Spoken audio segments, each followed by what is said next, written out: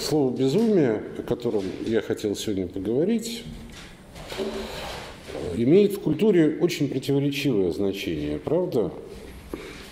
Ну, я напомню вам, наизусть не помню, но, в общем, когда-то мы все в школе проходили. Господа, если к правде святой мир дороги найти не умеет, кто дальше помнит? Вы помните? Честь безумцу, который навеет человечеству сон золотой. По безумным блуждая дорогам, это продолжение стихотворения, по безумным блуждая дорогам, нам безумец открыл новый свет. Нам безумец дал новый завет, ибо этот безумец был Богом. Если б завтра земли нашей путь осветить наше солнце забыло, завтра ж целый бы мир осветила мысль безумца какого-нибудь. Есть такое отношение к безумию в культуре, правда? Ну вот представьте себе, что делать, ну скажем, мне, психиатру, который читает в Нагорной проповеди слова Извините, если ошибаюсь. А, кто скажет брату своему рака, тот подлежит суду. А кто скажет безумец, тот подлежит гиене огненной.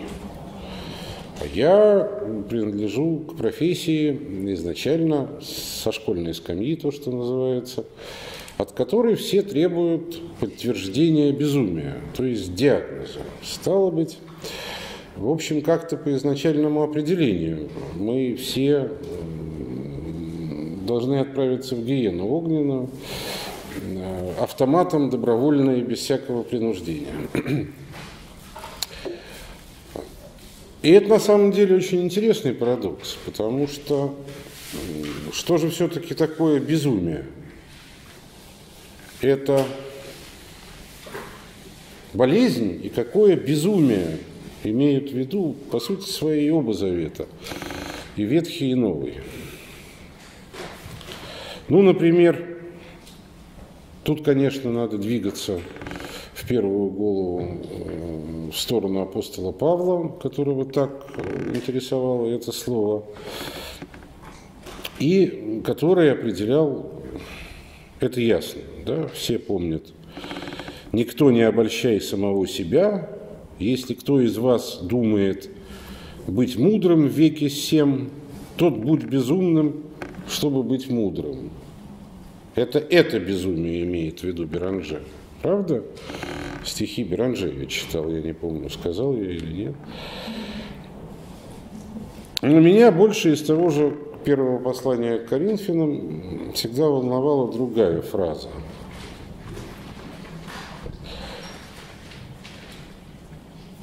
Или две фразы. Не обратил ли Бог мудрость мира сего в безумие? Ибо мудрость мира сего есть безумие перед Богом. А что она означает, эта фраза? Ну, в ней же не расшифровывается ни что такое мудрость мира сего, ни что такое безумие перед Богом. Можем мы ее как-нибудь понять в рамках того, что мы обсуждали с вами на предыдущих лекциях. Как вы думаете? Ну, мы же с вами, в общем, э, все отчасти, по крайней мере, от мира сего, правда?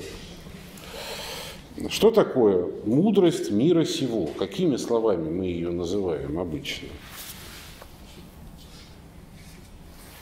Чему мешают почему многих так раздражают не то, что наши лекции по метафизике, а вообще разговоры о метафизике?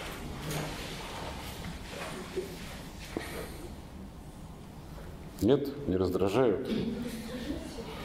М? А Ну, потому что люди говорят, это не имеет отношения к жизни. Да, к реальной. Это э, э, все глупости, это все э, не для жизни.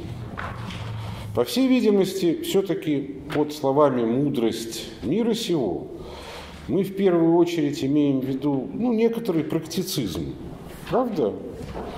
Еще их, эту же самую мудрость, ну, называют, скажем, технологиями власти, например. Да? А, и вообще всевозможными, всеми и всяческими технологиями э, манипуляций, продаж и так далее и тому подобное. Мудрость мира сего – это, вне всякого сомнения, и во все времена мудрость чисто практическая. Попробуйте придумать что-нибудь другое. Ну в чем еще может быть мудрость всего мира? Да. Ну там вот искусство выбирать нужную марку автомобиля – это мудрость практическая, нужная в повседневной жизни. А, скажем, искусство э, искать психологическую или метафизическую истину – это не ненужные в практическом смысле вещи. Поэтому, э, ну, в общем, во все времена подавляющее большинство людей, они и не интересовали. Ну, можете какими-то своими словами подбирать э, свои представления о мудрости мира сего. Стало быть, что же все-таки э, имеет в виду Новый Завет и апостол Павел под безумием. Или э, кто думает быть мудрым в мире, в веке всем, простите, тот будет безумным. Что за безумие он имеет в виду? Практицизм. Не, не, не, наоборот. Здесь все прямо наоборот. Практицизм он называет мудростью века в данном случае всего, в предыдущей цитате мира. А безумием он что называет? Что такое непрактичность? Ну почему же не, просто непрактичность? В некотором смысле э, у нас есть э, представление о супернепрактичности. Как называются такие святые? Супернепрактичные. Юродивые, конечно. Да, если хотите, юродивость – это некоторая полярность. Э, прямая полярность, именно потому она и святая, Хотя, в общем, они спорные существуют мнения, как среди э, ортодоксальной церкви, так и среди моих коллег, не стану скрывать. Ну, во всяком случае, если хотите, может быть, о юродивости стоит поговорить на отдельной лекции, потому что время у нас будет. Тем не менее, так это и называлось, правда, во все времена, со времен Платона, если я не ошибаюсь, священно безумие.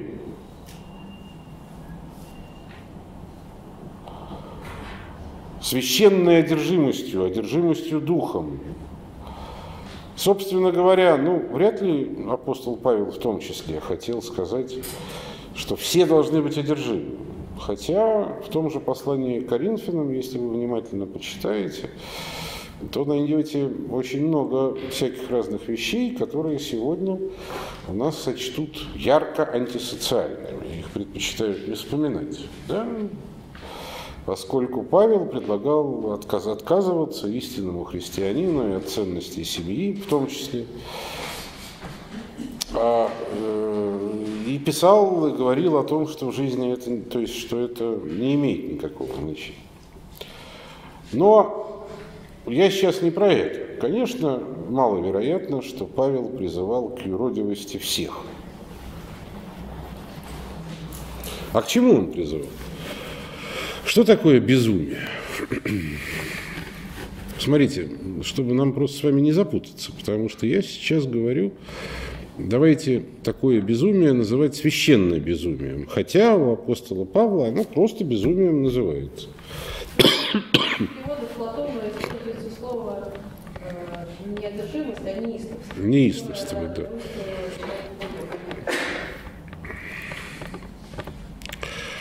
А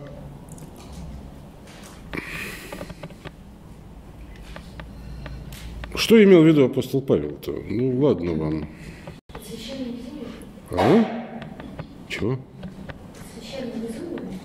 Ну, под безумием. У него же нет понятия священное безумие, неистовство.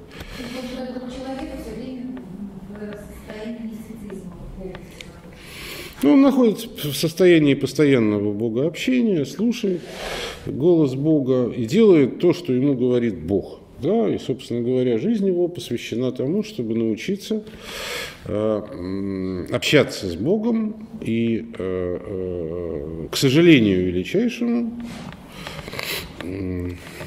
это состояние мои коллеги всегда считали настоящим безумием, подлинным. А, и поэтому мне внутренне всегда было так важно немножечко разобраться в этих понятиях. Но не думайте, я совершенно не собираюсь читать теоретическую лекцию на эту тему, потому что она получится очень сложной.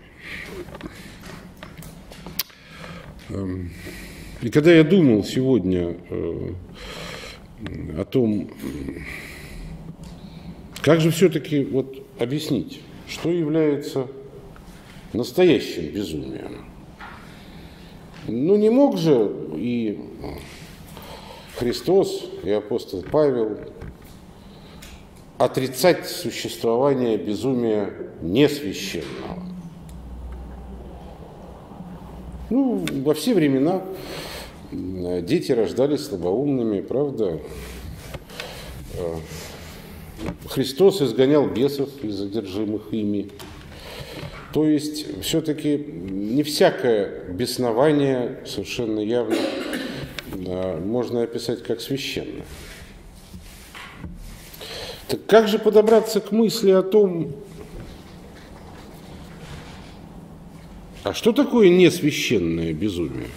Ведь смотрите, апостол Павел, переставляя эти понятия местами, мудрость или норму, ну, мудрость – это же в некотором смысле идеал – Правда? Идеал нормы.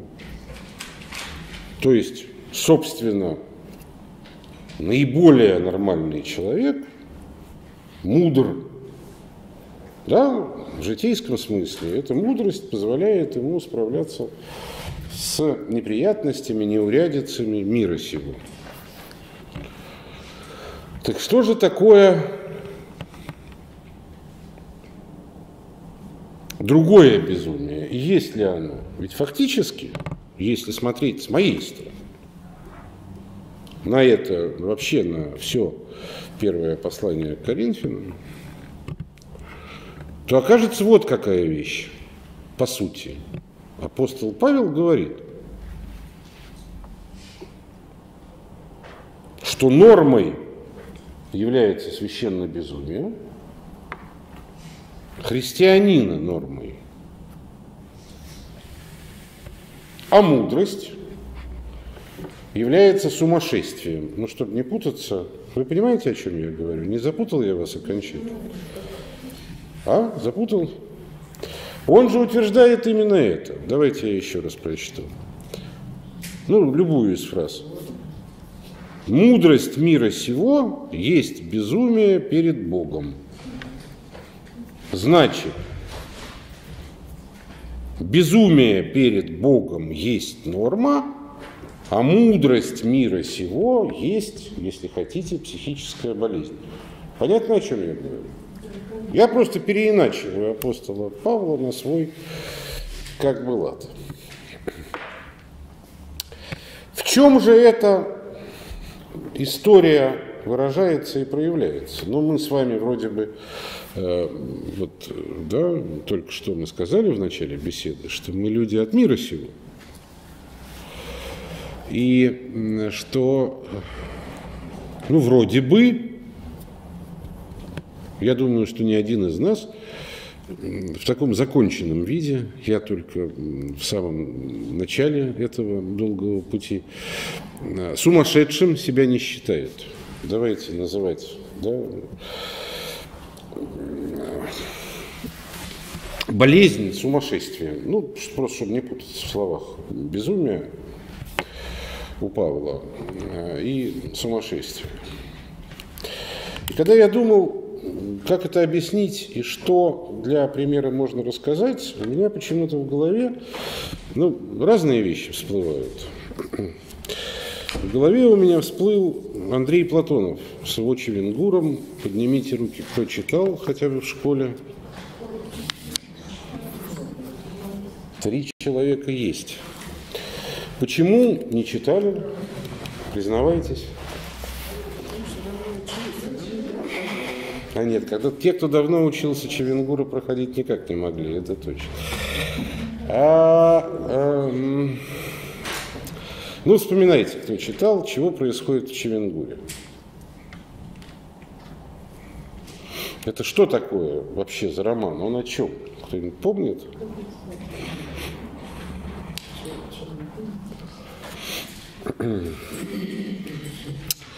А роман этот совершенно потрясающий, очень страшный. Для меня вообще, если честно, нет на свете писателя страшнее, чем Платонов. Я его и до сих пор боюсь.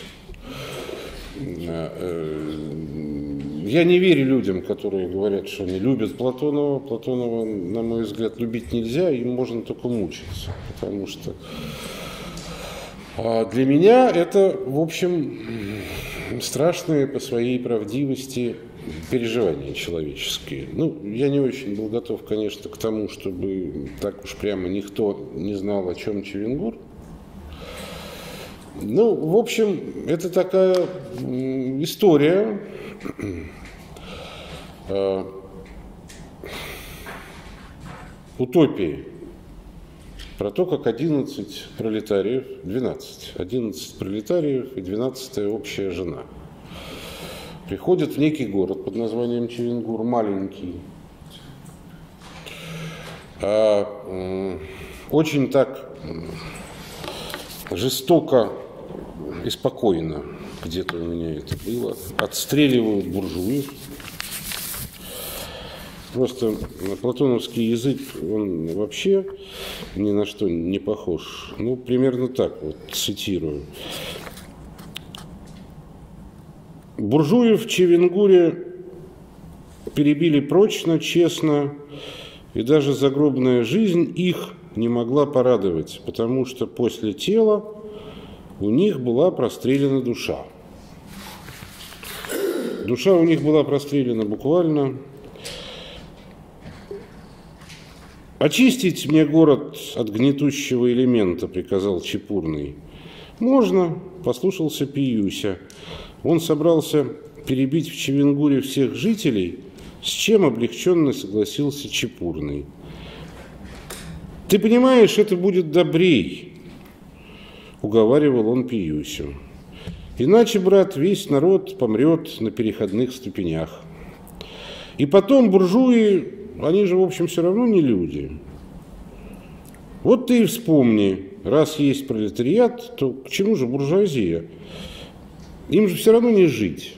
Это прям некрасиво.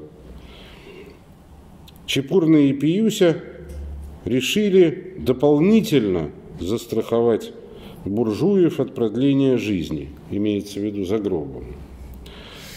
Они подзарядили наганы и каждому лежачему имущему человеку в последовательном порядке прострелили сбоку горла через железки.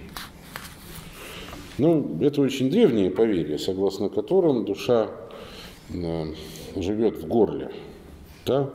И, в общем, даже верили, что человек может ее видеть при определенных обстоятельствах в виде змейки такой особой. А вспомнил я, конечно же, Чевенгур, потому что здесь существует такое явное противопоставление, во-первых, этой общины э, христианству, поскольку 12 апостолов, и э, вообще тогдашней платоновской позиции – И кроме всего прочего, здесь существует мощная такая а, мощное противопоставление тому, что мы называли партиципацией по Леви Брюлю. Помните? Все во всем. Вот на самом деле весь остальной Чевенгур, после того, как они буржуев перебили, они э, занимаются поисками коммунизма. Причем поисками коммунизма они занимаются сугубо, обратите на это внимание, в теле. Буквально в теле. А, вот по словам Копенкина, коммунизм надо спускать из идеи, Копенкин это один из 12, э, коммунизм надо спускать из идеи в тело, вооруженной рукой. Дванов. Коммунизм живет вещественным чувством в каждом теле. Или вот, например, замечательно. Разве ж в теле Якова Титыча удержится коммунизм, когда он такой тощий? Это размышляет Пиюся. А вот Луй говорит Гопнеру. Коммунизм ведь застрял в теле у меня. От него никуда не денешься. И поэтому самое главное, что происходит в Чевенгуре, это их такой постоянный внутренний телесный контакт, попытка, она страшна тем, что она какая-то абсолютно для них естественная, потому что идею коммунизма они не понимают. Они не понимают, о чем речь. Они пытаются обнаружить ее нерассудочно, они пытаются ее почувствовать. А для этого надо буквально слиться телами. А единственное такое фантастическое допущение в этой утопии, они каким-то образом, ну, для пространства романа абсолютно естественно обретают способность двигать дома. То есть вот они, ну сейчас не буду искать цитату, но в общем они разрушили улицы, и все дома, они их носили. Вот они умеют носить дома.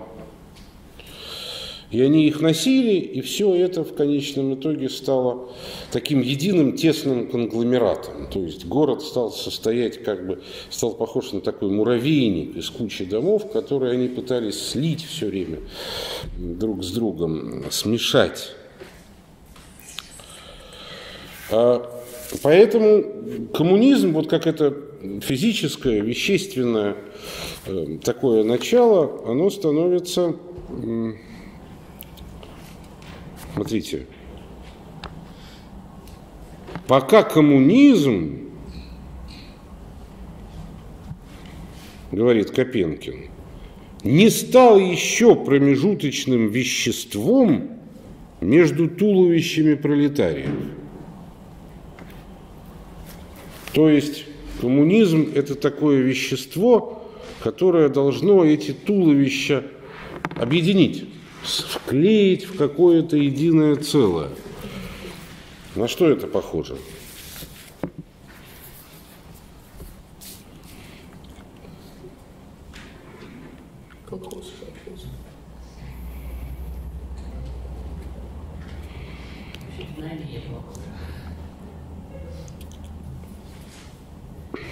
Вот видите, Александр Дванов представлял голые, жалкие туловища этих людей единственным существом социализма.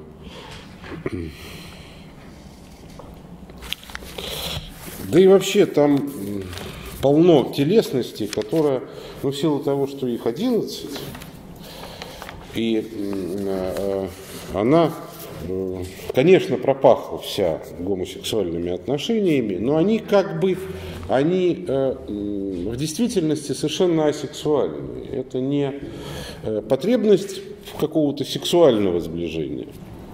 Она только там, ее можно только угадать.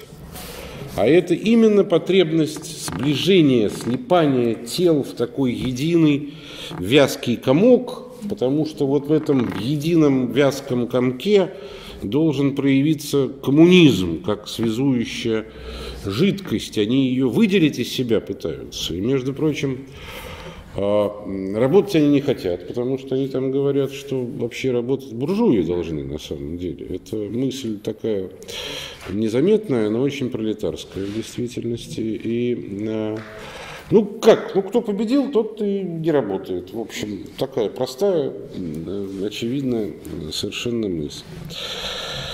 Вот. А, вот. Вечером Дванов и Копенкин встали и поцеловались среди дороги, и обоим стало бессмысленно стыдно. Пожилой большевик – пожилой большевик Жеев, потолстевший благодаря гражданской войне, подошел к Фаэтону и поцеловал Прокофия в его засохшие губы. Э, ну и про секс, про секс. Вот.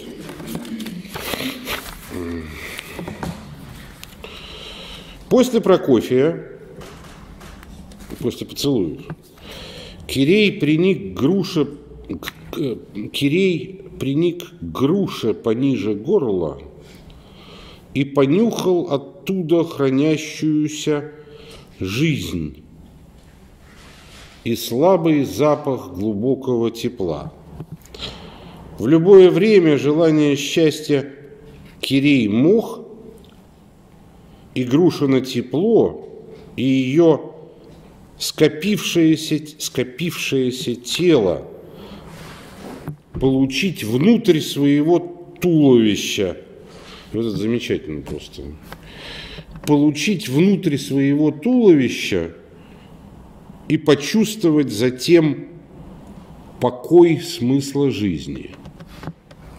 Вот это замечательно, да? Вот.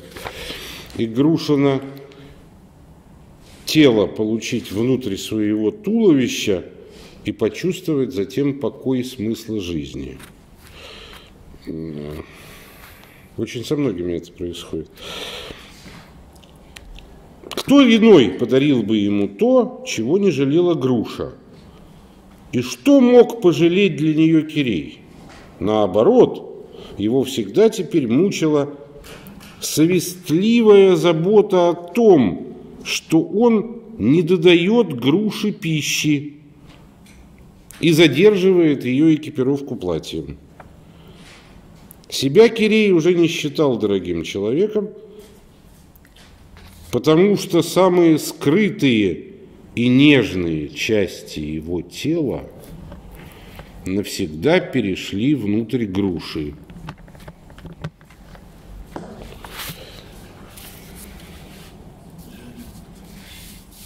Что происходит? На что это похоже? Ничего не напоминает из все-таки христианской темы нашей, наших лекций? Соборность напоминает. Чем напоминает? А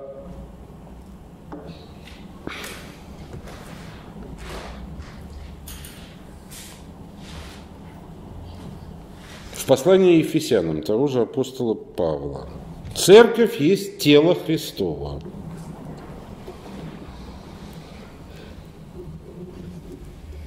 Церковь, собственно говоря, и есть совокупность верующих, которые составляют тело Христова. И опять Коринфянам. Мы многие одно тело. Мы многие составляем одно тело во Христе. Это уже к римлянам послание. Ибо как тело одно, но имеет многие члены, и все члены одного тела, хотя их и много, составляют одно тело. Так и Христос. Тело же не из одного члена, а из многих. И вы тело Христова, а порознь, ой, а порознь члены. Это тоже первое Коринфянам, обе цитаты. В чем разница? Ну, чем кончается Черенгур, вы, наверное, знаете. Они все, желая проникнуть друг друга, в конечном итоге друг друга убивают. Я уж не стану там да, это, туда погружаться. Но выясняется, что есть способ объединения тел, но он за пределами жизни и за пределами коммунизма. В итоге выясняется, что, в общем, ну, так это не сказано, что коммунизм есть смерть, да, потому что при этом Платонов, между прочим, э, где у нас это? Вот из статьи очень показателен, потому что из его статьи Платоновской 1920 э, года, которая называлась «Христос и мы».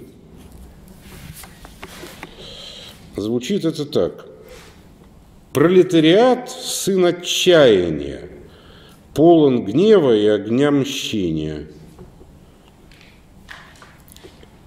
И этот гнев выше всякой небесной любви – ибо Он только родит Царство Христа на земле. Наши пулеметы на фронтах куда выше евангельских слов. Конец цитаты.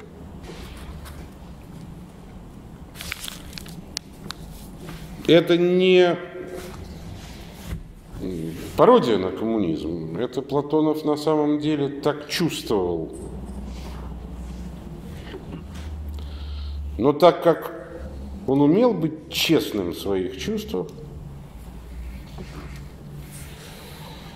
и потому, между прочим, это одна из тех причин, по которой он являлся и является до сих пор типичным таким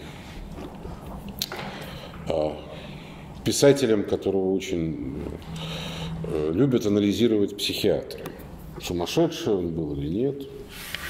Он видел своих, видел своих двойников, писал об этом жене. В общем, ну, есть что рассказать о Платоне. Но я сейчас не об этом. Я сейчас о том, давайте попробуем почувствовать, в чем разница между вот этим коммунизмом Чевенгура – и церковью как телом Христовым. Более того, конечно, есть общее между Евхаристией и вот этим поиском коммунизма платоновскими героями, потому что, да, это одна кровь, которую мы пьем,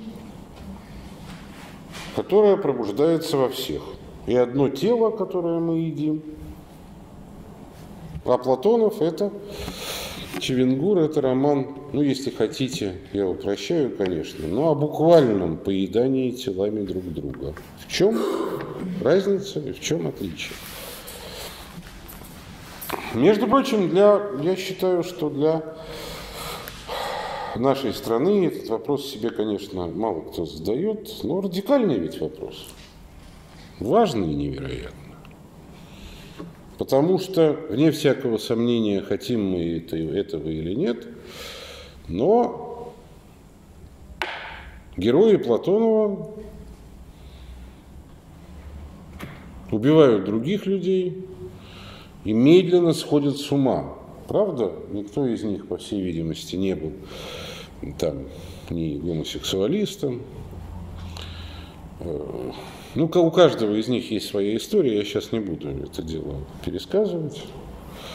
Ну, все как бы отчасти похоже на историю апостолов, до Чевенгура, в Чевенгуре. Там. конечно, написаны тома и тома исследований литературоведческих, куда мне до них. А есть еще вот этот, я даже не знаю, как его назвать, какой-то растительно-естественный язык Платонова, который, с одной стороны, можно ложь, ложками кушать, а с другой стороны, который вот запутывает и сводит с ума. Но дело не в этом. Дело в том, что герои это все равно сходят с ума. В чем разница между церковью и Чевенгуром? Ну, противоположность. Чего в чем она, эта противоположность? Ну, мы хотим тело Христова. Они ищут в своих телах коммунизм. Коммунизм, сатана. Ну, опять, что такое сатана? Был ли Карл Маркс сатаной? Ну, в общем, да и вообще, мы же с вами обсуждаем святые вещи, которые, слава Богу, связаны там, с Григорием Низким, с а, и которые очевидны, да, о том, что, ну, хорошо, там можно много дискутировать о сатане, но проблема в том, что не может быть у Бога, Христос же Бог, равного противника. Тогда у нас получается другая религия, не едино Божие, а двубожие. Не может этого быть. И все как бы не там сатана. Ну и потом, опять, я же все-таки, вы не забывайте, я же не священник. Священник может пользоваться такого рода понятиями. Я не очень. Поскольку я же светский лектор, врач, мне бы суть понять, Хотите психологическую, хотите философскую. Это, наверное, священник имеет право сказать. Сатана. Я нет. И желания не имею, и права тоже.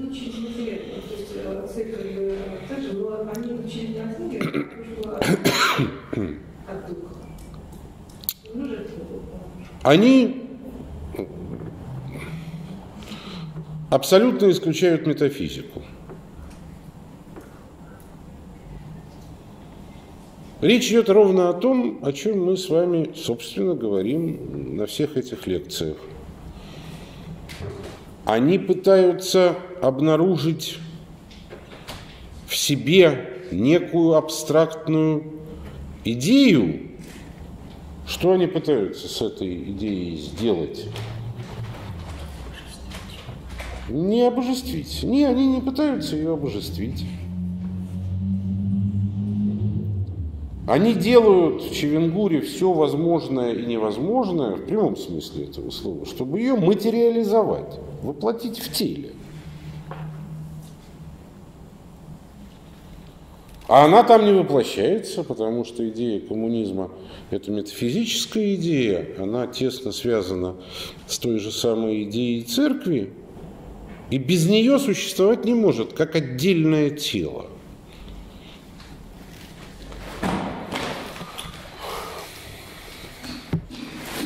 У нас есть один режиссер театральный,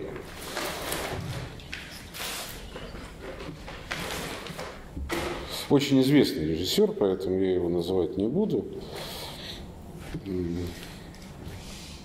Он своих актеров, в некоторых случаях ему это удалось благополучно, э, поскольку они, в общем, один, врать не буду, потом ко мне попадали. Ну, в общем, короче говоря, суть эксперимента заключается в том, что актеры у него закрываются в медитации, и там они должны внутри себя искать театр. Никакого ужаса и ничего, в общем, так с виду-то и плохого нету. Но есть проблема. Внутри у человека не может быть театра, там его нет. Потому что театр это что такое? Изначально, по происхождению своему. Стерео. Мистерия религиозная, конечно. Античный театр – это религиозная мистерия, и все формы древнего театра – это, собственно, есть формы богослужения. Разным богам я сейчас не об этом.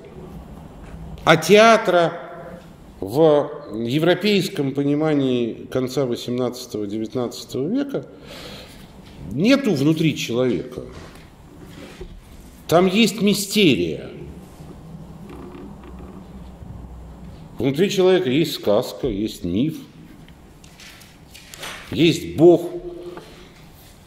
Но некоторого театра с его драматургией, сценографией, в общем, с его светскими, практическими материальными законами не может быть внутри человека.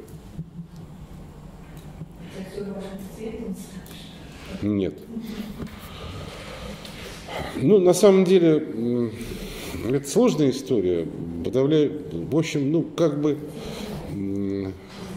Он в итоге, как вам сказать, он собирает Чевенгур. Я не знаю, понимает ли он это сам. Думаю, что нет. Но он собирает Чевенгур, потому что большая часть актеров этого не выдерживает и просто уходит. А те, кто остаются, составляют что-то вроде секты, да, такой, как бы э, они в совершенно рабской э, зависимости от режиссера, и именно этого многие не выдерживают. Имеется в виду, что ну, вся жизнь должна быть построена вот в аскезе и в обнаружении в себе внутреннего театра. Я, я сейчас, понимаете, какая штука? Вы не подумайте, что это какой-то момент осуждения. Это вот, на мой взгляд, самое главное, это непонимание некоторых чрезвычайно важных граней.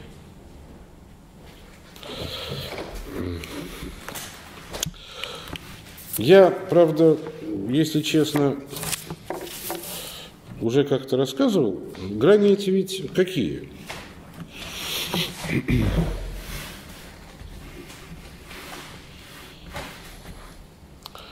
У физики свое место, у метафизики свое. А опыт наш социализма, я всегда, я почему о Чевенгуре и обо всем этом вообще, потому что, мне кажется, это очень важно понять. Вот э, весь Ветхий Завет, там Ехве, он э, рефреном особенно в Таре, в Пятикнижье Моисеевым, непрестанно повторяет э, одну и ту же фразу.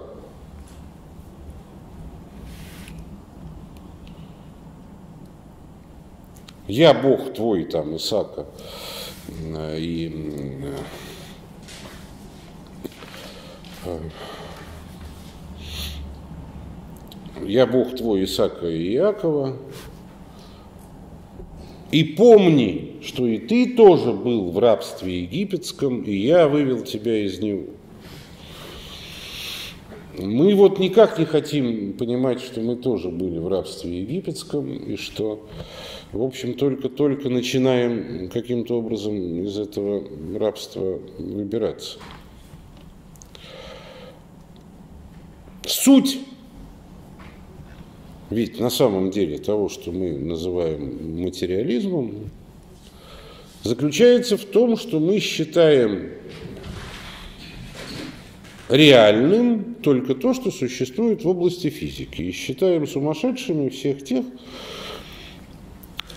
кто считает, что кроме физики существует что-то еще, хотя понятно, что квантовая физика 20 э, века, ну, в общем, вполне убедительно доказала, что э, в действительности, как только мы переходим на уровень микромира, реальность перестает быть реальной.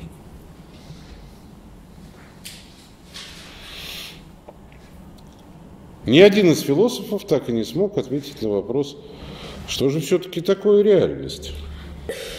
Поскольку параметры реальности – это точно такой же вопрос веры, как и любые другие на самом деле параметры человеческой жизни.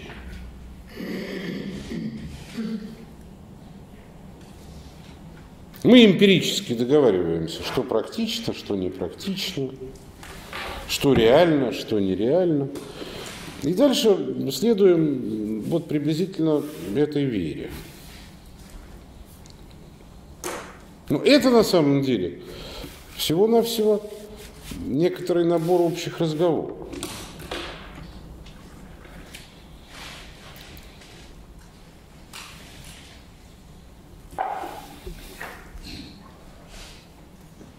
Мы с вами изначально по ходу лекции говорили, что физика и метафизика – это два близнеца, два равноправных партнера. Я поэтому не пользуюсь, например, можно еще пользоваться словами «я люблю очень реальность и нереальность».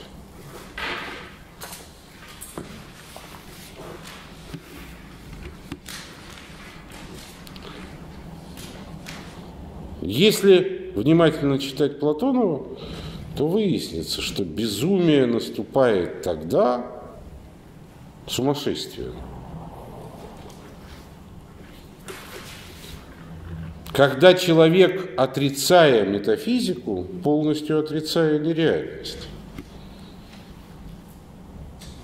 пытается воплотить любой ценой образы своего воображения в реальность.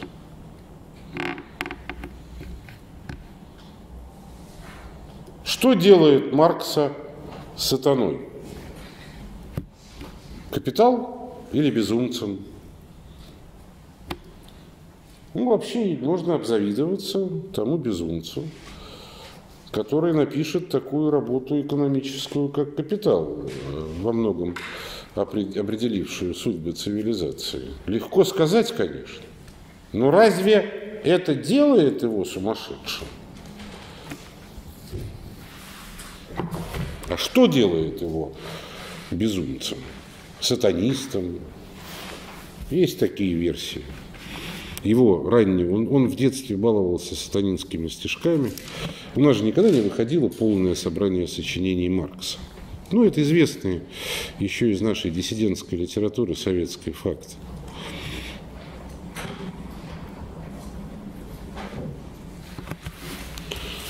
Давайте я попробую рассказать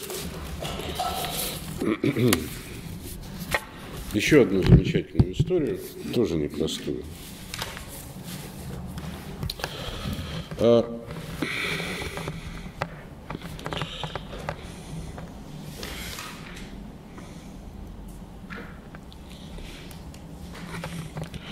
в 20 век математика – я отчасти рассказывал эту историю по радио, но я думаю, что не вредно ее будет повторить вслед за Чевенгуром. Вошла через кризис или революцию, связанную с теорией множеств, теорией, которую создал немецкий математик, еврей по происхождению Георг Кантер – между прочим, родившийся, но совершенно случайно, никогда здесь не живший, в 1845 году в Санкт-Петербурге. Тут его мама родила, и они тут же уехали в Германию. А, а, Кантер доказал, ну не буду погружаться туда, что множество всех натуральных чисел и множество всех вещественных чисел имеют разное количество элементов. То есть, что натуральные числа и вещи – это разные множества.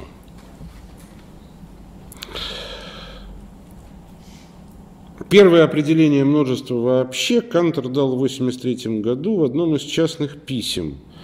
Он написал под многообразием, в кавычках, или множеством, в кавычках, я понимаю вообще всякое многое, что можно осмыслить как единое, то есть всякую совокупность определенных элементов, которая может быть связана в единое целое с помощью закона.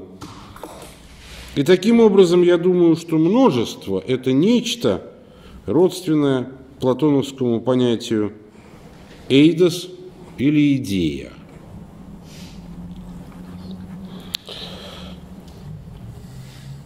Фактически Кантер определил множество как множе, как совокупность реальных или цифровых математических объектов, обладающих определенными свойствами и имеющих какое-то название, какое-то имя.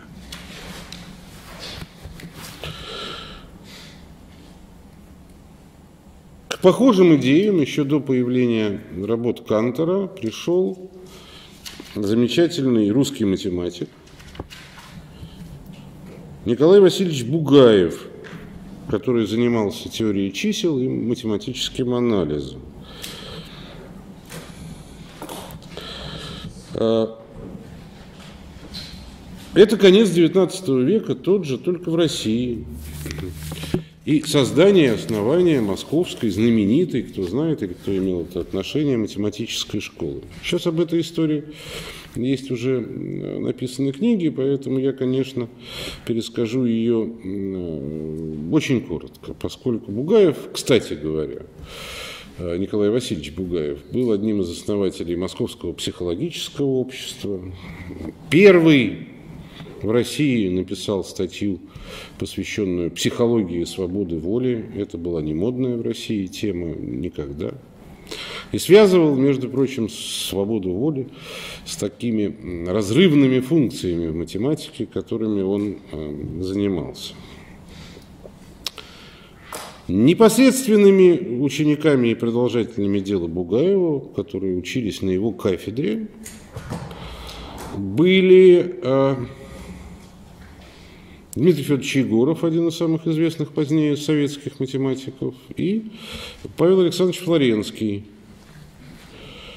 А, кроме того, наверное, все знают, что сыном и студентом, математиком по образованию профессора Бугаева был Андрей Николаевич Бугаев, который а, позднее получил, взял псевдоним Андрей Белый и стал одним из основателей русского символизма. Знаете, да? Ну, вот это загадочная история кафедры. Не стану погружать вас очень глубоко, но смысл идеи заключается в том, что для того, чтобы множество, математическое множество, приобрело некоторую реальность, в том числе для того, чтобы можно было проводить с ним математические операции, оно должно быть названо, то есть должно получить имя. Из кафедры, э, с кафедры Николая Владимировича, ой, Василий, Васильевича, запутался, Николая Васильевича Бугаева, берет начало русское интеллигентское имяславие.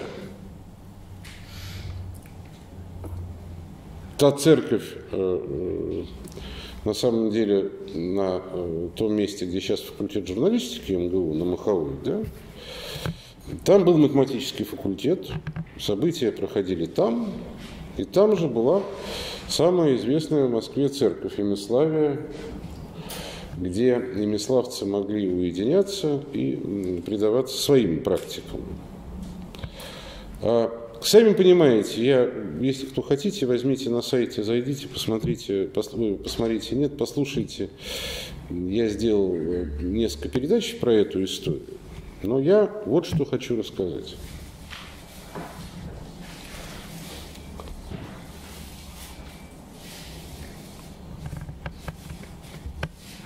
Павел Флоренский, позднее священник, отец Павел, и его прямой ученик и последователь, и тайный священник уже в советское время Имиславческой церкви, философ Алексей Федорович Лосев, верили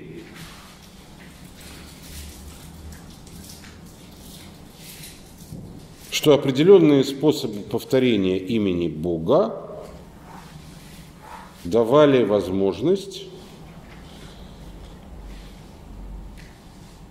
человеку войти в его множество, стать частью множества по имени Иисус Христос. Я не буду сегодня рассказывать, как они это делали, что в результате получилось, хотя это одна из самых интересных духовных историй российских вообще.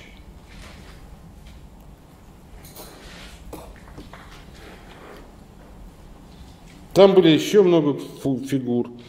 Дмитрий Егоров, позднее Николай Лузин, э, студенческое общество, из которых вышли, вышло много имиславцев, а много не имиславцев. Такая знаменитая Лузитания была, в которой родилась великая, правда, великая советская математика.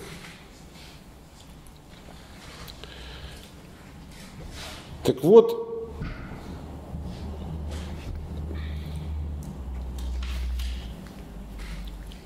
Павел Флоренский в психологической практике и его последователи.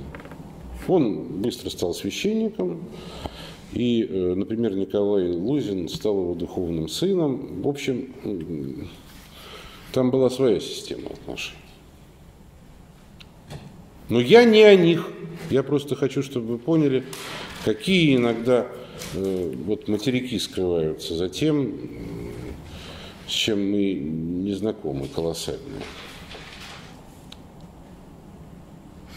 Я рассказываю об этом, потому что и Флоренский, и Лузин, и Лосев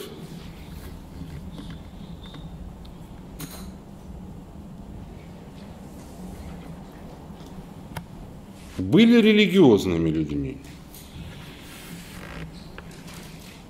Андрей Николаевич Бугаев, белый, религиозным человеком не был. И по всей видимости, мы смело можем предполагать, что он был убежден в некотором роде, он никогда такого не говорил. Это было его тайной, что он был убежден в том, что именование, именование множеств имеет магическую функцию – И что, именуя некие абстрактные сущности, которые существуют в человеческом воображении, человек может воплотить их в реальность.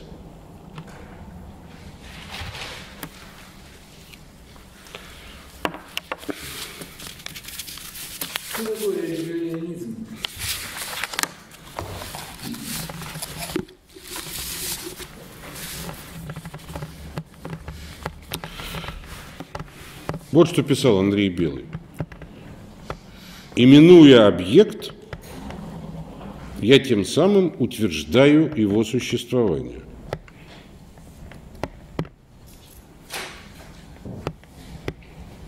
А Николай Лузин писал, кажется, что все есть мечта, игра с символами, которые, тем не менее, приводят к великому – есть как бы две формы игры с символами, обратите внимание. Павел Флоренский, Алексей Лосев были в высшей степени непростыми людьми и мыслителями. Однако вот при всей бесконечной сложности, противоречивости и просто какой-то невероятной невероятном объеме деятельности отца Павла Флоренского, кажется, что нет такой интеллектуальной области от инженерии до химии, где бы он не оставил какого-то заметного рубца и какой-то новизны. Его считали человеком не от мира сего, некоторые посмеивались над ним. В общем, я никогда не слышал, чтобы Флоренского называли сумасшедшим. Точно так же и Алексей Федорович Лосев, который умудрился при советской власти ну, всего на всего один раз немного сидеть. Ну, правда. Всего три года. И не в самые страшные времена. А... И был чуть ли не единственным человеком, которому можно было при советской власти писать по э, философии, мифологии, создавать базу,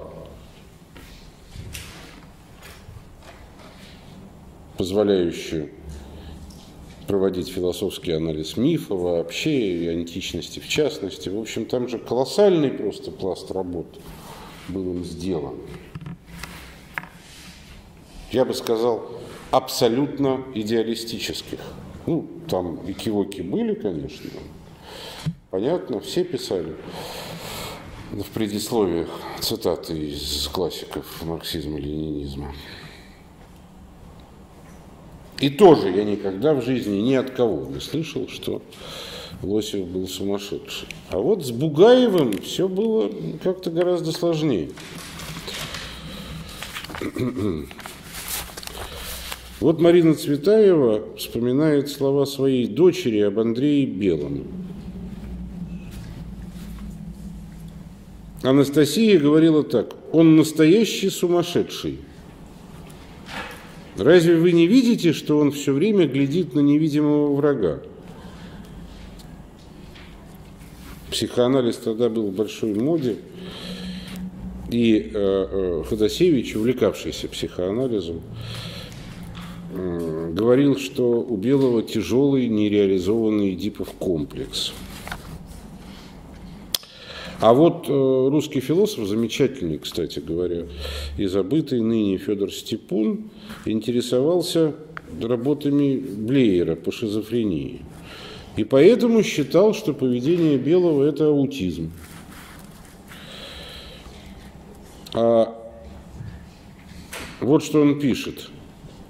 Белый всю свою творческую жизнь прожил в сосредоточении на своем «я», он описывал панорамы собственного сознания. Признаки и теневые фигуры, с которыми всю жизнь боролся поэт, это все разные голоса и подголоски, все разные угрожающие ему срывы и загибы собственного «я», которые он невольно объективировал и с которыми расправлялся под масками своих, в большинстве случаев, совершенно мнимых врагов.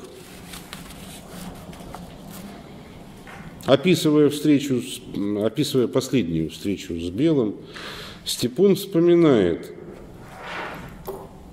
как для того, чтобы почувствовать собственного двойника, Белый использовал зеркало.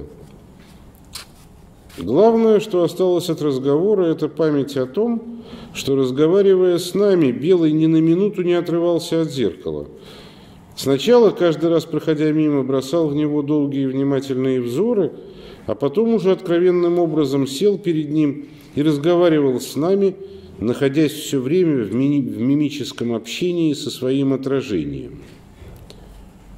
В эти минуты все ответы «мне» становились всего лишь репликами в сторону. Главный разговор был явно сосредоточен на диалоге Белого со своим двойником в зеркале.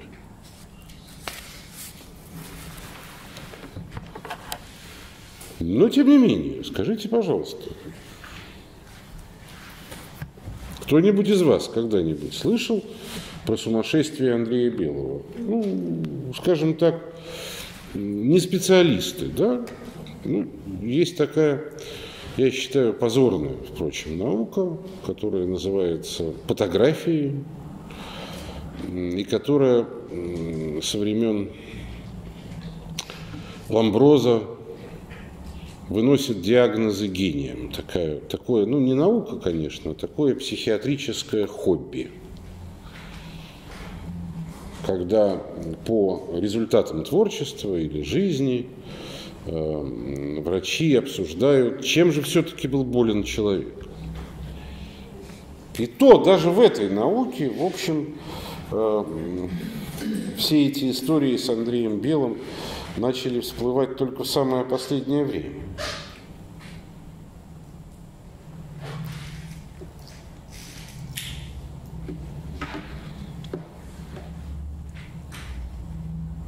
Смотрите, на этом примере, в общем, тоже можно понять и почувствовать, что происходит.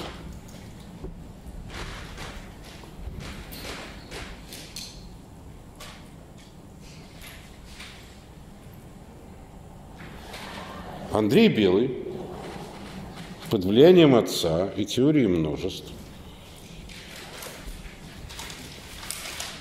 пришел к выводу, что он может создавать сущности, именуя их. Он создавал их, с ними воевал и боролся, но многие пытливые взгляды эти замеч... многие пытливые взгляды это замечали. Однако непытливые, не заинтересованные ну, в близком общении с белым людям, люди этого, в общем, вовсе не замечали. Никому не приходило в голову его лечить.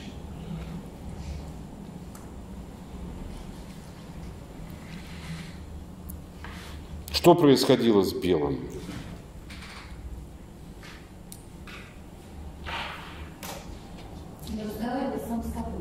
Казалось бы, ну, в общем, что-то похожее действительно, прав Ходосевич, э, и описывал Блеер под названием аутизм. Да, шизофрения – это раскол чревного разума, появление второго «я». Со вторым «я» вот э, есть знаменитая, сейчас, если я ее найду, цитата из Чевенгура. Это то, что они вот обнаруживали в себе в результате поисков коммунизма. Вернемся на секундочку.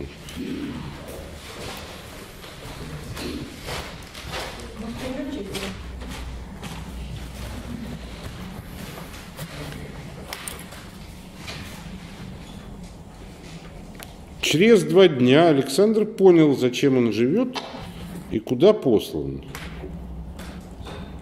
Но в человеке это знаменитое, в общем, место такое. Но в человеке еще живет маленький зритель. Он не участвует ни в поступках, ни в страдании. Он всегда хладнокровен и одинаков. Его служба – это видеть и быть свидетелем, но он без права голоса в жизни человека, и неизвестно зачем – он одиноко существует. Пока Дванов в беспамятстве ехал и шел, этот зритель в нем все видел, хотя ни разу не предупредил и не помог. Он жил параллельно Дванову, но Двановым не был. Он существовал мертвым братом человека – потрясающие у него образы, хотя их безумно трудно читать, на мой взгляд. Это евнух души человека. Я сейчас не буду рассказывать, не хочу переходить на психиатрический язык и говорить о, или даже психологический. Герои Чевенгура, мы с вами это сказали, в общем, сходят с ума.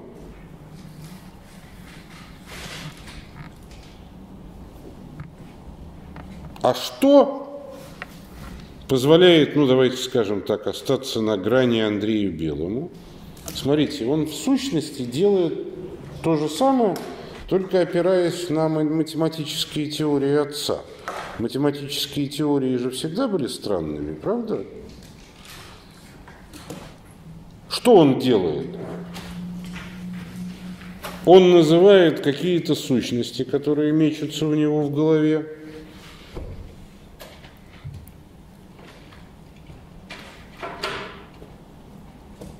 И считает, что при этом они становятся реальными. И начинает общаться с ними. Что его спасало-то? Что? Творчество, что он делал?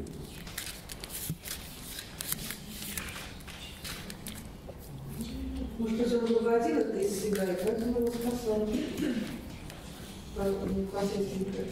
Он выводил это из себя. Но куда? Смотрите, существует огромная разница. Он выводил это не в реальность, а в текст. Свои знаменитые романы, начиная с Петербурга, которые, в общем, роман преследования, да, как романы о том, как человеческое начало преследуется какими-то другими, правда?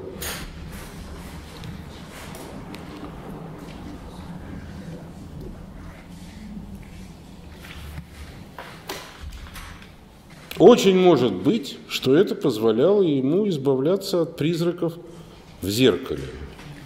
Смотрите, он пытался воплотить в реальность какие-то образы, давал им имена.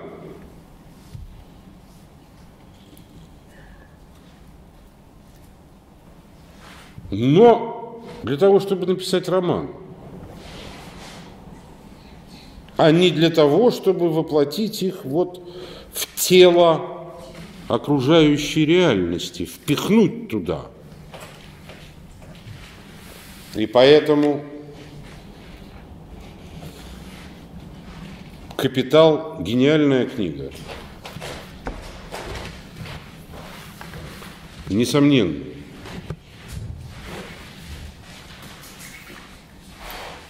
А манифест коммунистической партии, которую Федор Тютчев, будучи старшим цензором, запретил переводить на русский язык в России, это безумие. Потому что это призыв к немедленному воплощению в реальность теории, изложенной в «Капитале». Я рассказываю, наверное, об очень непростых вещах. Но, на мой взгляд, вещи эти имеют абсолютно непосредственное отношение и к христианству, и к культуре по той простой причине, что э, например, без Флоренского и Лосева, без Замиславцев – Русское христианство, в общем, мыслить в высшей степени трудно. И это чистая правда. Но я не только про это. Ведь все то, что я рассказываю на примерах, в общем, уже ставшей классической литературы, можно проследить в нашей жизни гораздо проще и гораздо буквальнее. И это, в общем, для меня, ну, если не каждодневная, наверное, я буду преувеличивать, но очень частая проблема.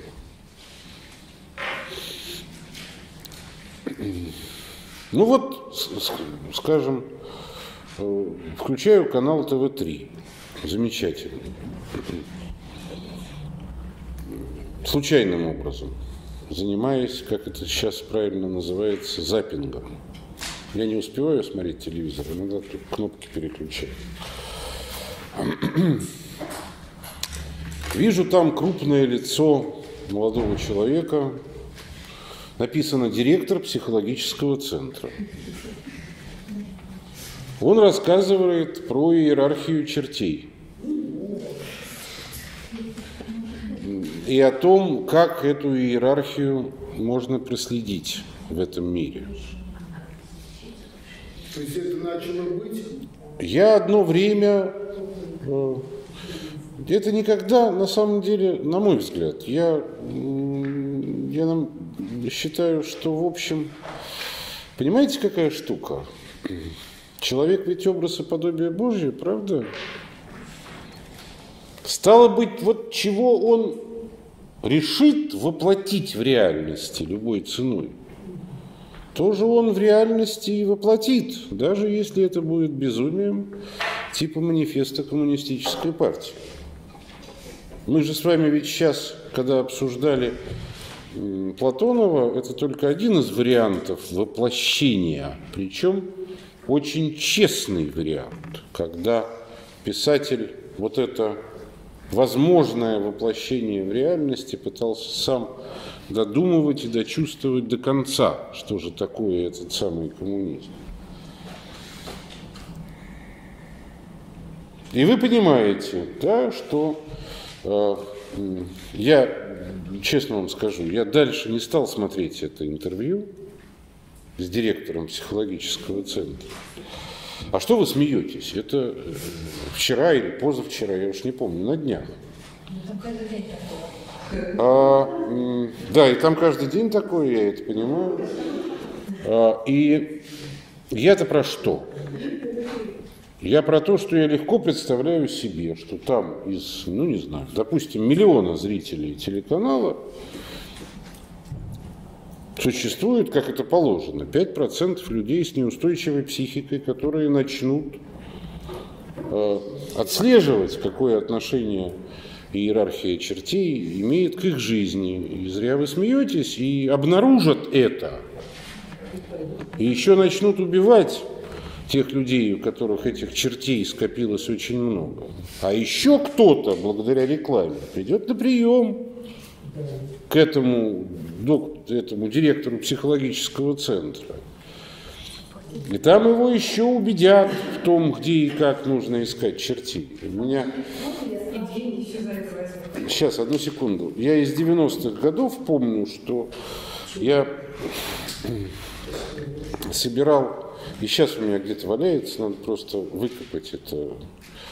А, особо безумные инструкции такого рода. У меня где-то лежит такая серьезная брошюра, ну, страниц на 150, о том, как надо видеть привидений и духов, которые скрываются повсюду. И там рисунки, как надо скосить глаза, чтобы увидеть духа на автомобиле. И как его оттуда прогнать, чтобы он, не дай бог, не прицепился по дороге? А...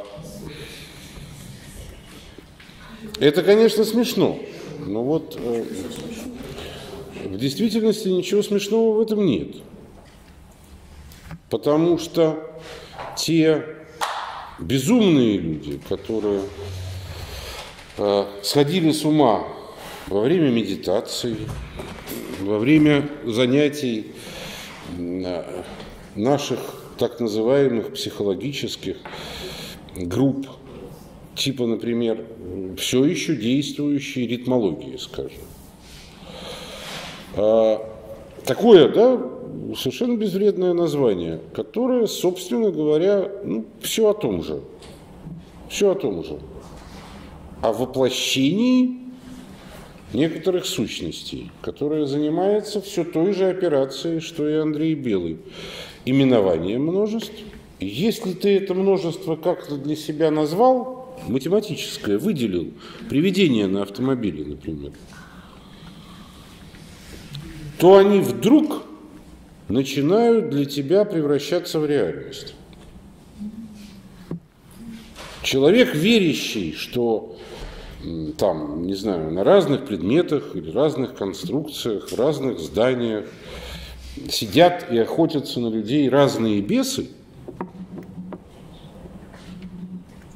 обязательно будет видеть этих бесов, будет считать их частью реальности и реагировать на них.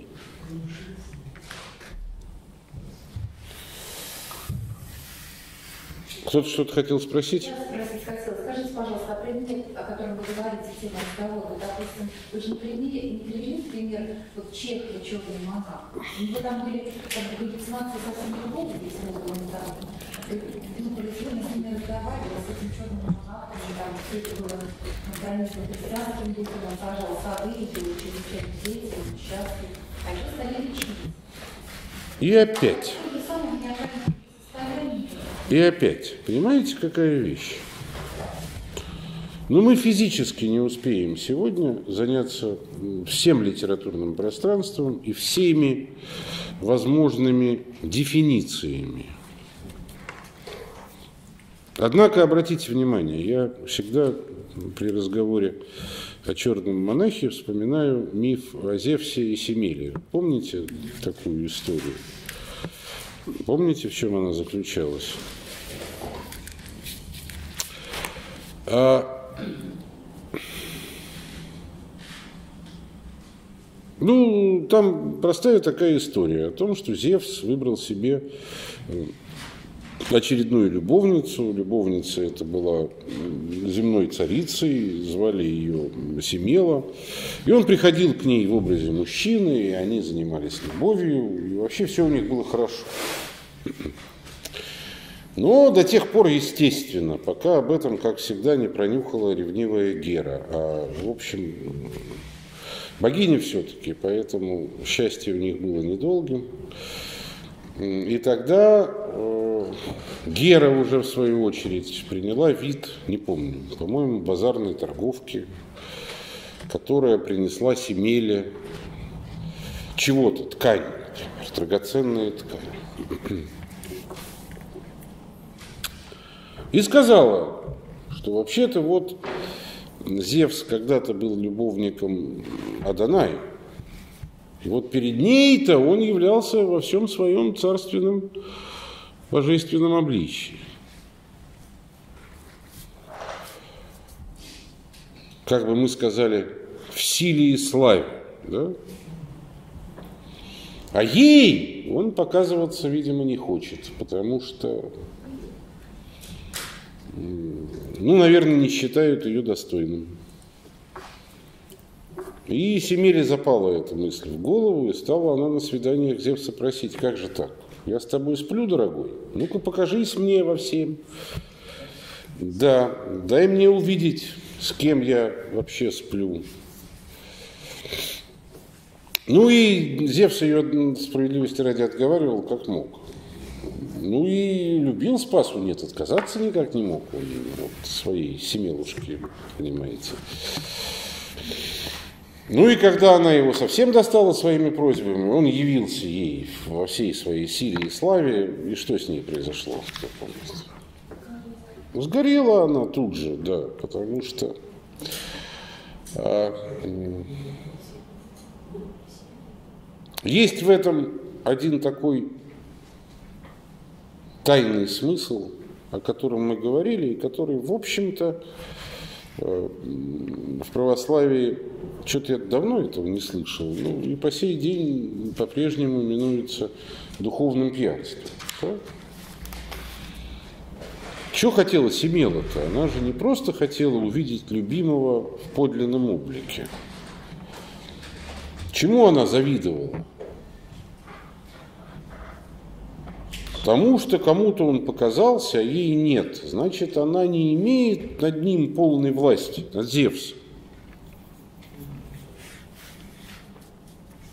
Есть некая претензия, в том числе и у черного монаха, вот в таких его собственных отношениях с Богом. Над этим, мне кажется, немножко издевается Чехов, который всегда немножко издевается. В этом его безумие, в том, что он, ну, как бы замкнут в своих отношениях с Богом. Вот они там тусуются вдвоем, сады сажают, в общем. Им хорошо, а для других людей дела нет. Ну, сами понимаете, я же это предельно упрощаю.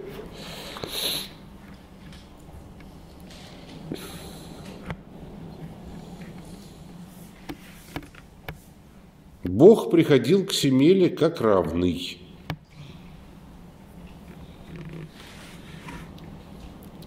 Флоренские и миславцы очень дорогие и близкие мне внутренние люди. Хотели быть частью божественного множества. Они не пытались стяжать Бога для себя. Они хотели почувствовать себя частичкой. И говорят, что им это удавалось.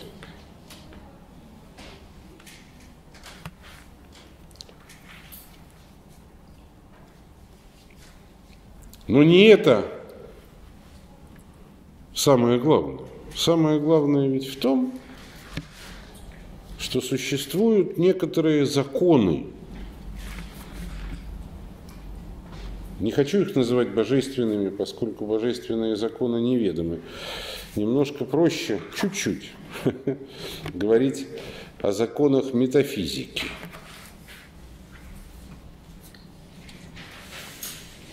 Ну, например, человеческая попытка немедленного воплощения в реальности некоторых идей грозит безумием, как личным, так и социальным. Вот человек смотрит по ТВ-3 на директора психологического центра и говорит, о, теперь все понятно. Вот же они, черти, мне мешали. От этого я, например, и пью. Ну, скажем. Все ясно. И это значит, что он сошел с ума. Потому что вот эта вот ясность и есть безумие, поскольку она наполняет непознанное метафизику конкретным материальным содержанием из привычной человеку реальности. Маленькие, черненькие, с хвостом. Да? Только чтобы на меня не перепрыгивали.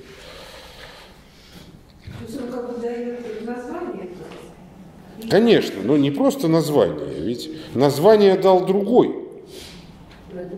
А человек начинает воплощать это в своей реальности. Смотрите, это и есть мудрость мира сего. Из апостола Павла. Я же хочу вернуться к тому, к тому, с чего начал. Что такое мудрость мира сего или практичность? Это я вот этих всех разговоров о депознанном, о метафизике слушать не хочу. Я хочу конкретно. Черти? Черти. Духи? Духи. Вот эта попытка свести всю мудрость к мудрости мира сего, то есть только к одной лишь физике, она, на мой взгляд, по апостолу Павлу, и есть подлинное сумасшествие или мудрость мира сего, когда мы все сводим только к этой мудрости, и никакая другая нас не интересует.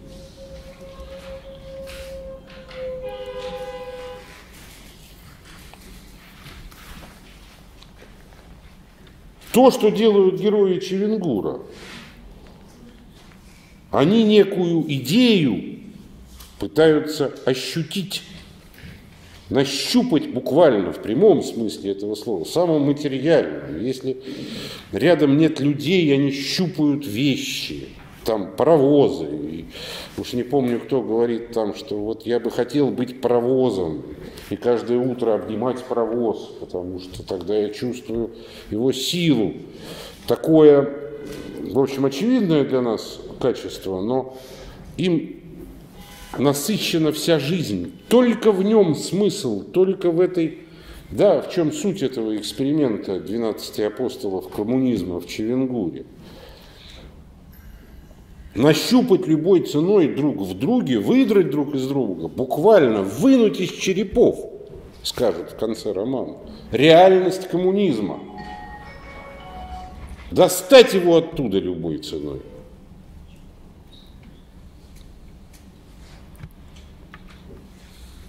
Что я хочу сказать в этом смысле важного?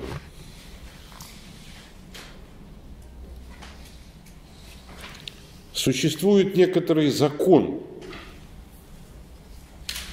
воплощения текстов разных, в том числе и гениальных, типа «Капитала» Карла Маркса в человеческой реальности. Это закон некоторой временной задержки. Тексты, там, не знаю, Киркегора, сто лет лежат всеми забытые и никому не нужные. Вдруг в них находят предшественников мышления первой половины философов первой половины, первой половины XX века, предшественников экзистенциализма. И Киркегор становится одним из важнейших философов XX века, хотя жил вовсе в XVIII.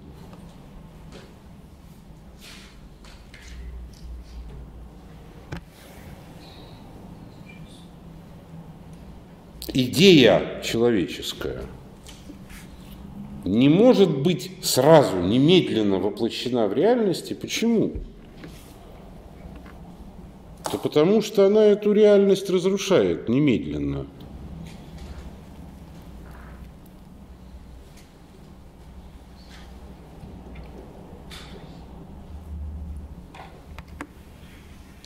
Все идеи, более или менее значимые для человечества, воплощаются с некоторой временной задержкой. А если они воплощаются немедленно, они оборачиваются безумием, в том числе безумием революции.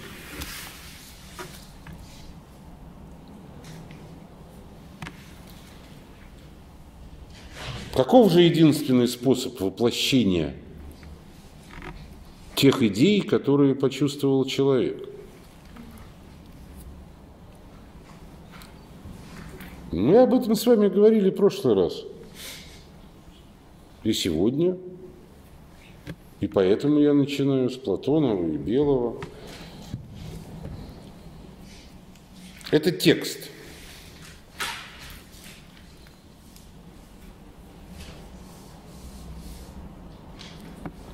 Текст – это совершенно особая форма воплощения. Это прозрачное воплощение –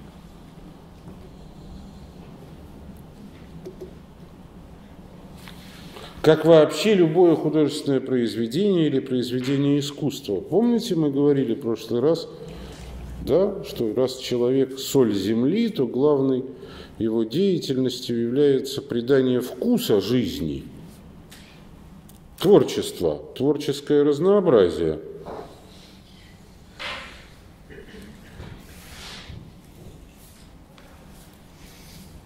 Воплощение идей в искусстве – лишено вот этого самого физического компонента власти, если вы помните предыдущие лекции.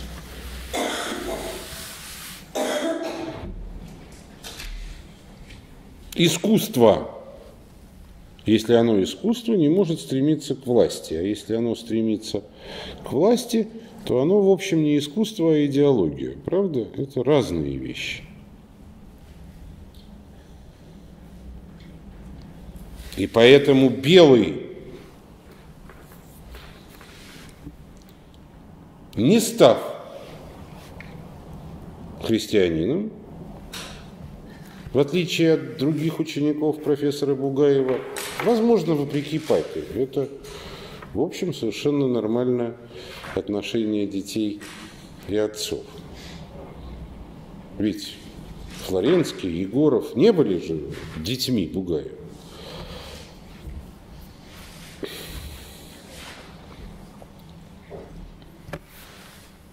Он пытался именовать свои множества, создавать сущности, но не сошел с ума, потому что выплескивал их на странице романа.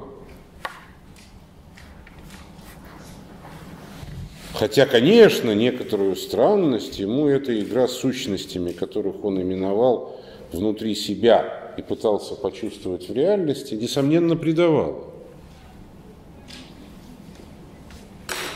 Но это была такая внутренняя игра. Ей дело ограничивалось, потому что выплескивалось в творчество. Ну и, конечно, не обязательно, это я для простоты именую продукт творчества текстом.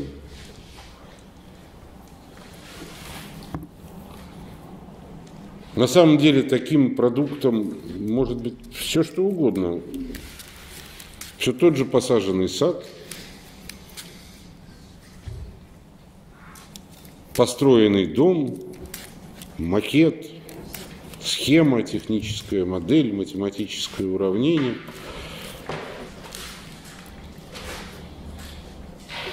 Ведь построенный дом, собранная библиотека, сказал я себе, никаким образом не программируют, например, например, судьбу детей, на которых направлено наше творчество. Они могут воспользоваться всем этим, могут понять наше послание, но это вовсе не обязательно. как только родитель пытается правда добиться от своих детей, чтобы они были именно такими, каким он их задумал. Не дети, детям тоже бывает не сладко, но родитель сходит с ума. Никогда не замечали? Он пытается выполнить невозможное. Он пытается э, вылепить свободное существо. Это не значит, что мы не должны лепить своих детей. Это значит, что четко поставленные нами задачи почти никогда, или точнее говоря, никогда в полном объеме не могут быть выполнены, потому что мы не программисты.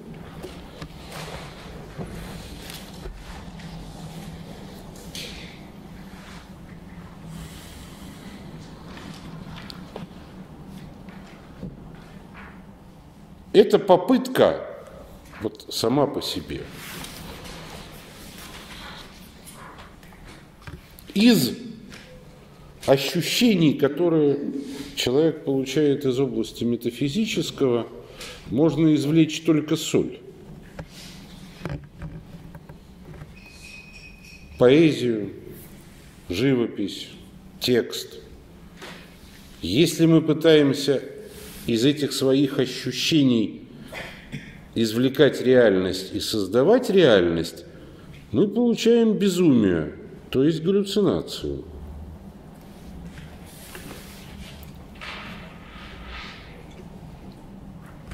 На самом деле есть довольно много людей, которые склонны, э, ну скажем так, отрицать существование метафизики или Бога, или активно все это не любить. Но проблема заключается в том, что э, никакого чисто прагматического или рационального или конкретного мышления самого по себе не существует, или оно э, очень быстро превращается в безумие. Мы, если у нас нету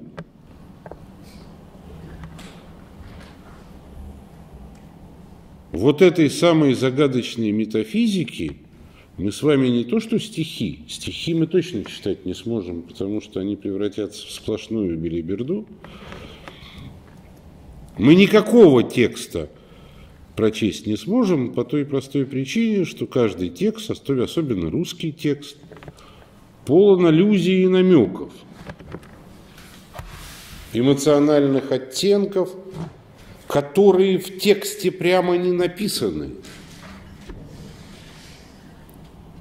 которые мы каким-то образом через общее для культуры чувствуем. А это метафизический компонент. Никаким рациональным мышлением его не объяснишь. Слова – это не система кубиков, которые прилеплены друг к другу. Вот в чем загадка изречения апостола Павла.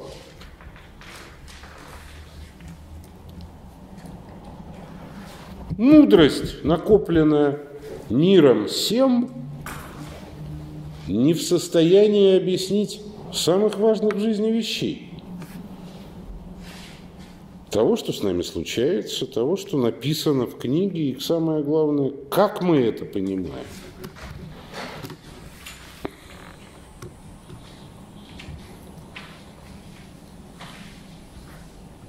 Я одним из типичных примеров очень часто пользуюсь. Вот э,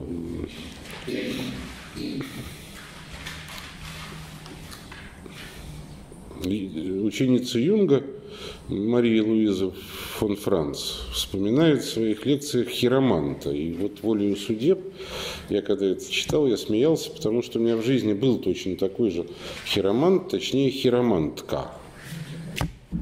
Вот.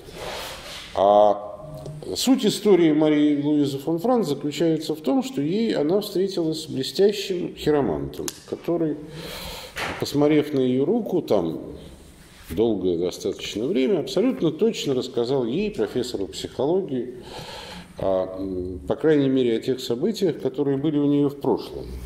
Ну, там, двое детей от первого брака, от второго брака нет детей, э, хирургическая операция, я всего, может быть, не очень точно помню, хирургическая операция там в какую-то дату определенную на том самом органе, который был указан.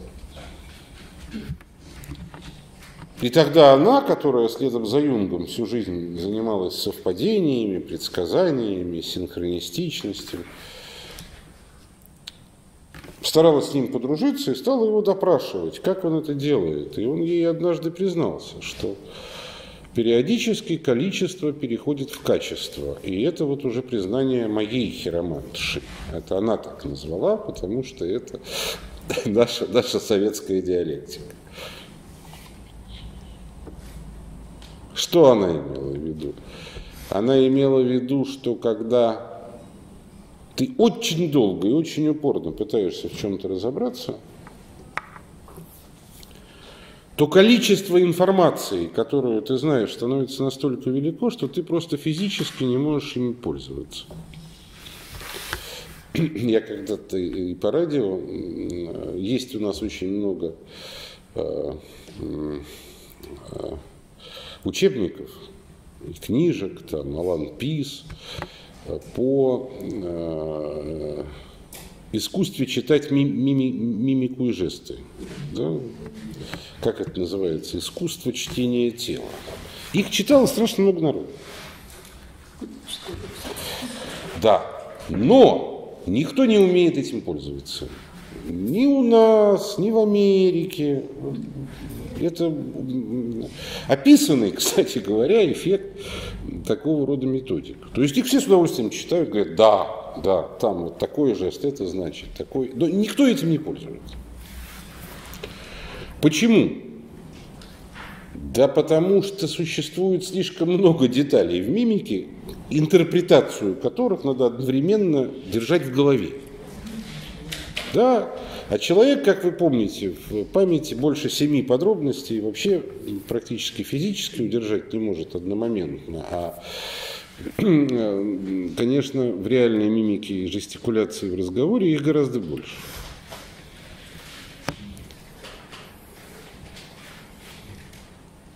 И она, хиромант Марии Луизы и мой хиромант, пытались объяснить одно и то же, что когда ты перегружаешь, обязательное условие, перегружаешь себя информацией о человеке, то тебе вдруг открывается знание о нем. Ниоткуда. Не из миллионов интерпретаций э, одних и тех же линий, которые написали за долгие века хироманты всего мира.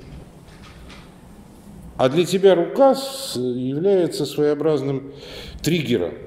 Ты пытаешься включить у себя в башке всю эту кучу информации, глядя на руку.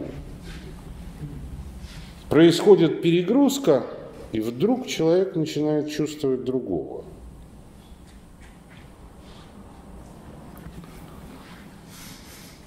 Это на самом деле настолько частое переживание, что мы его не замечаем и не относим это ни к метафизике, когда на грани физической усталости, на грани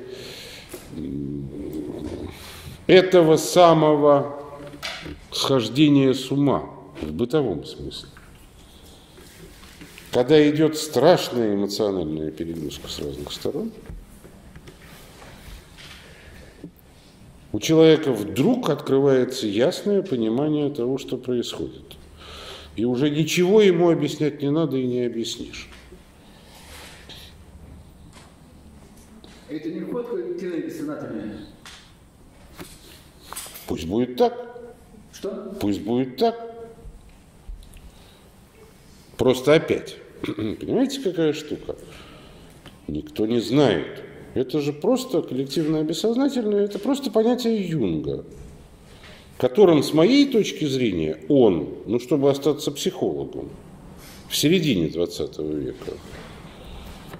Просто заменял понятие Бог. Хотя все его последователи всегда Сейчас советую вам, если вам интересно, то почитайте Джеймса Холлиса, потому что это самый близкий к моим разговорам человек из современных, кого можно свободно купить в книжных магазинах.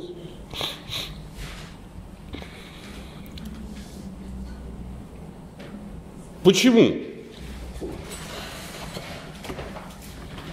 Ну, потому что все, начиная со времен Платона, знали, что в этом коллективном бессознательном существуют свои точки идей. Да, вот я уже сегодня использовал это понятие.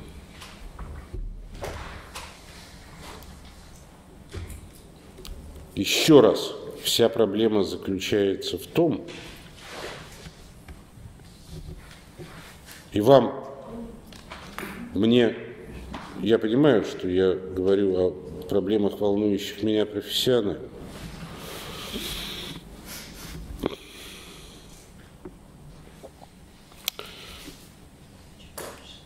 Но если человек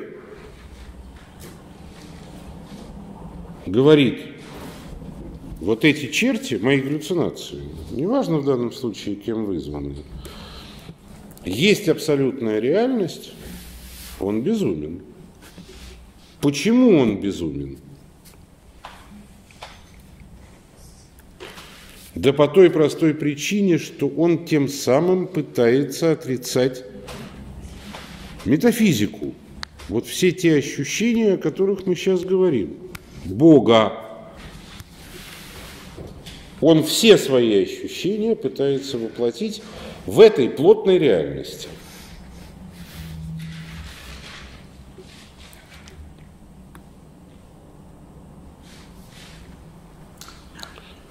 Вот это я хочу, чтобы вы почувствовали. А воплощать их можно только в произведении искусства, в тексте.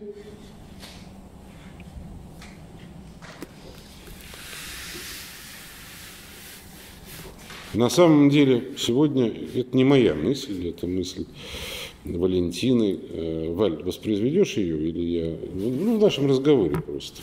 А,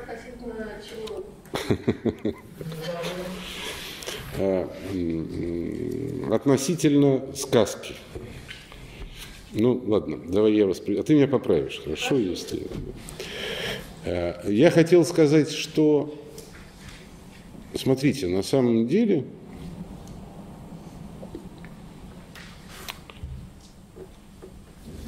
мы уже говорили, по-моему, об этом или упоминали, по крайней мере. Поход к гадалке успокаивает тревогу. Правда? Человек тревожится за свое будущее.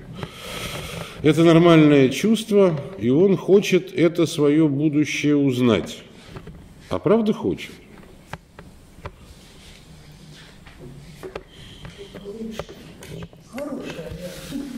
Что такое хорошее будущее? М? Не хотим плохого узнать, хотим хорошего. Что такое хорошее будущее?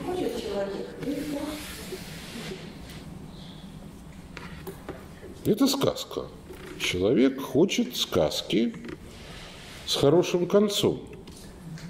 Он идет к гадалке, к психоаналитику, к психотерапевту, чтобы тот на каком-то своем языке рассказал ему сказку, повесть, роман, обо мне. Поскольку у меня самого не хватает а, уверенности в том, что я сам могу создать какое-то такое творческое произведение из себя, из своей жизни.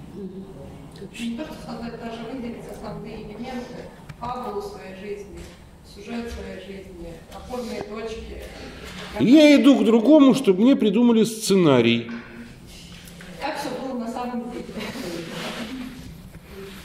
Что со мной было на самом деле и чего все это значит?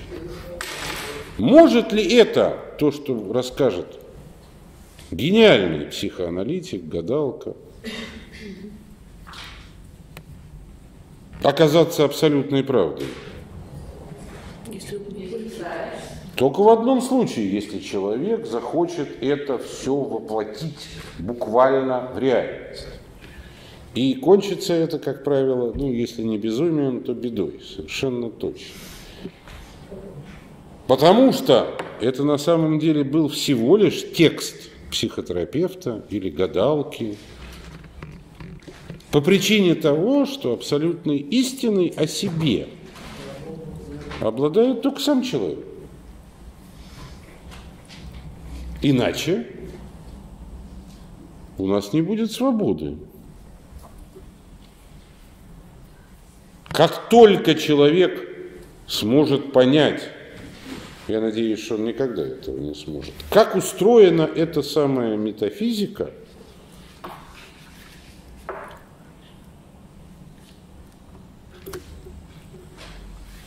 он лишится свободы.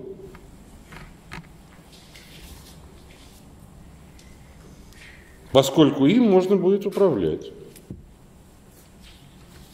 Поэтому эта область принципиально не может быть познана, она лишит человека человеческого.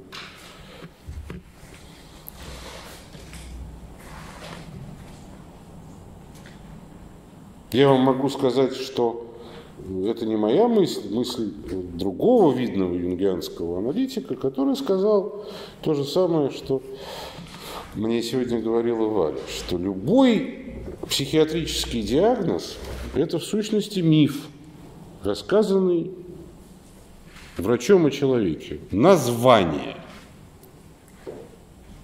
которое дальше, после того, как этот диагноз поставлен, врач вместе с пациентом начинают воплощать в реальность.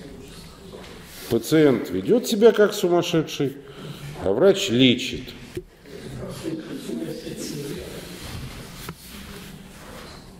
давая таблетки, чтобы человек не вел себя как сумасшедший. И вы зря смеетесь, это не смешной процесс, он происходит каждый день на наших глазах, ровно потому, что есть ощущение, что другой реальности не существует.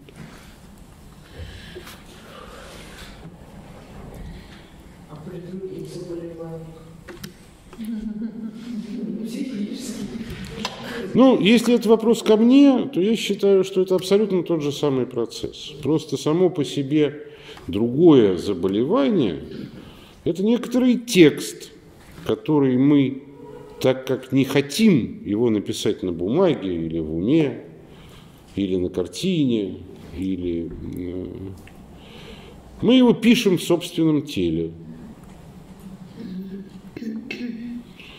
Я надеюсь, что когда-нибудь я допишу на эту тему книжку. Ну, что-то мне, чем дальше, тем меньше у меня уверенности в том, что я, что меня хватит на это дело ума. Ну, во всяком случае, попытаемся мы это совершить, этот процесс. надо написать.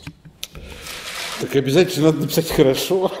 Хорошо не получается. Получается хорошо, очень медленно. Вот. И э,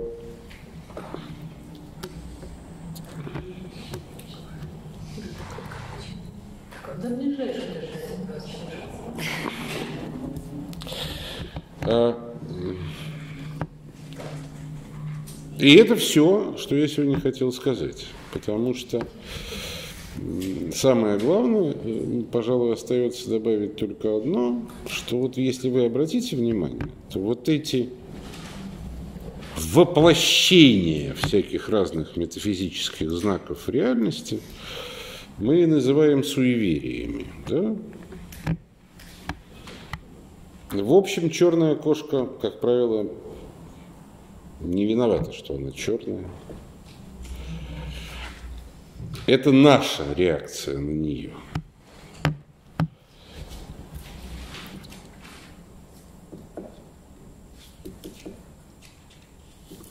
Поэтому это же ведь один из главных принципов любви. человека и Бога, о которой, между прочим, не только Новый Завет, но и Ветхий, конечно, тоже.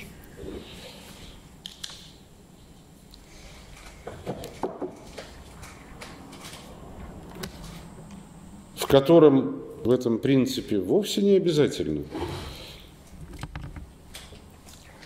чтобы то, что мы чувствуем,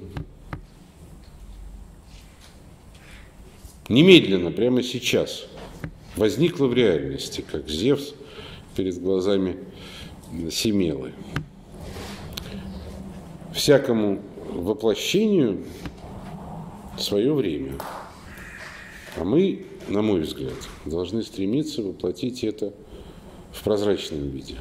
В текстах, во всяком случае, в произведениях собственного творчества. Все.